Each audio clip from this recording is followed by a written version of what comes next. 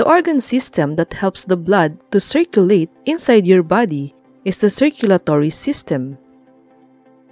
The circulatory system is also called the cardiovascular system. Cardio means heart and vascular refers to blood vessels. The circulatory system helps circulate blood throughout the body. The functions of the circulatory system are to transport oxygen and nutrients to the body cells, and to carry deoxygenated or oxygen poor blood and carbon dioxide back to the heart and lungs.